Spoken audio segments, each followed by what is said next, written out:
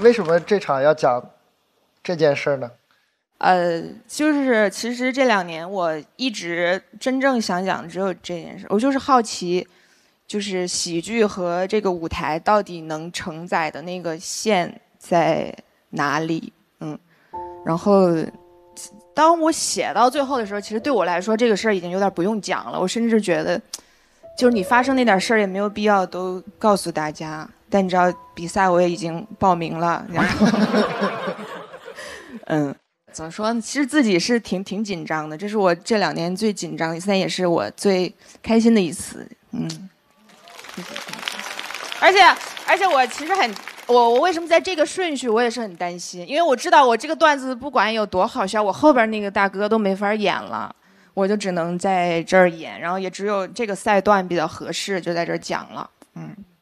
嗯，我觉得杨丽特别聪明。嗯，就杨丽一直她想，比如关于女性的。然后这次关于生死的，他把最后拉到了这个地方。其实我就建议大家之后回到自己最想表达的那个领域，我觉得这特别好。我是觉得杨笠有变化，就是以前不管是通过网上的一些就是刻板的印象也好，或者他脱口秀呈现出的，都觉得她是一个比较容易有犀利的观点跟尖锐表达的女生，很勇很敢的。但是我今天我觉得她能够感受到她的那个。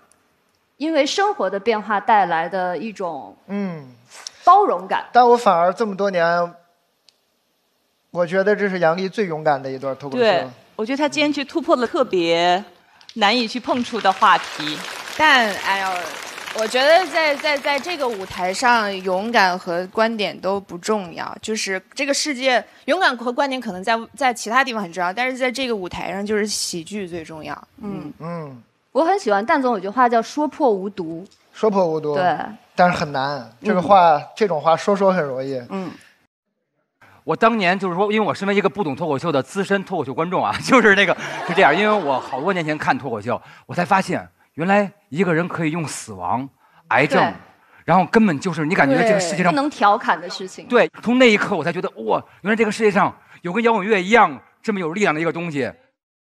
之前我还看过那个也也已经去世的那个叫什么 Ri Ri River 那个，她也说了她丈夫那个去世，然后多少年，然后他不敢说。但是因为我们有喜剧的力量，我们有音乐的力量，所以变成了我们能用这些事情去化解、去面对这些事情。所以说，这这我才觉得是真正脱口秀的力量在这儿啊，就特别了不起。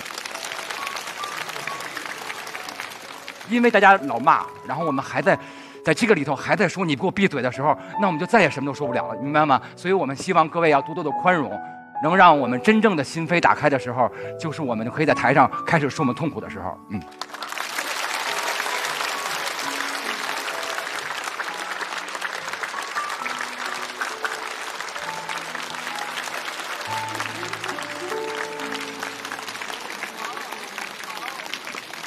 杨丽要被大老师说哭了。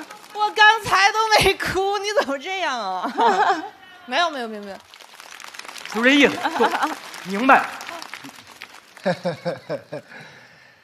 人生难得是理解呀。